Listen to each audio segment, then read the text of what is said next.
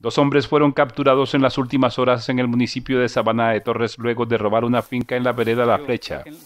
Según detallaron las autoridades, los capturados ingresaron al predio haciéndose pasar por miembros de un grupo delincuencial y utilizando prendas militares. Estas capturas se logran gracias a la oportuna información suministrada por la comunidad la reacción y trabajo coordinados entre miembros del ejército y agentes de la Policía Nacional. Logra la captura de dos sujetos, los cuales ingresaron a una finca de la vereda La Flecha en el municipio de Sabana de Torres y en forma violenta intimidaron a sus habitantes haciéndose pasar por grupos al margen de la ley, hurtando elementos y dinero por valor y alrededor de 10 millones de pesos.